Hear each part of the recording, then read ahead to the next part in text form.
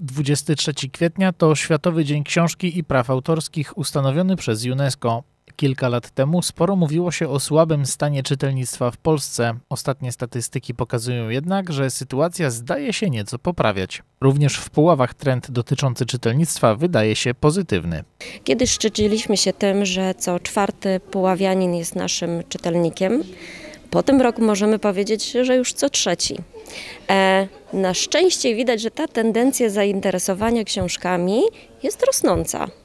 E, mamy nadzieję, że to będzie stale i stale będzie rosło, aż w końcu nam się uda powiedzieć, że rzeczywiście wszyscy poławianie chętnie korzystają z mediateki. Według badań Biblioteki Narodowej w 2023 roku Polacy najchętniej czytali kryminały, książki obyczajowe, biografie, publicystykę czy poradniki. W zeszłym roku co najmniej jedną pozycję literacką przeczytało 43% Polaków, co jest najlepszym wynikiem od 10 lat.